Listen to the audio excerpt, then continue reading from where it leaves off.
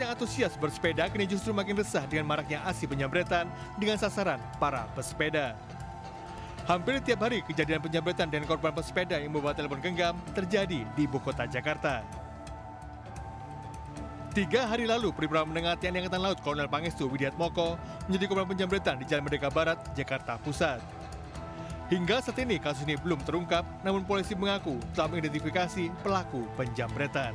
Identifikasi awal ada dua kendaraan motor yang memang satu tugasnya mengawasi dan satu yang merebut. Yang akan merebut handphone milik korban pada saat itu sehingga dipertahankan oleh korban. Korban jatuh mengakibatkan luka-luka dan masuk ada patah di tangan. Ya, ini masih kami kumpulkan alat-alat bukti yang lain ya untuk bisa membantu penyelidik untuk bisa mengungkap dan menangkap para pelakunya. Selain telah memeriksa tiga orang saksi yang mengetahui aksi penyambretan, polisi telah mendapatkan rekaman CCTV saat kejadian. Menindaklanjuti maraknya aksi penyambretan dengan sasaran pesepeda, polisi telah membentuk tim khusus di bawah Direskrimum Polda Metro Jaya.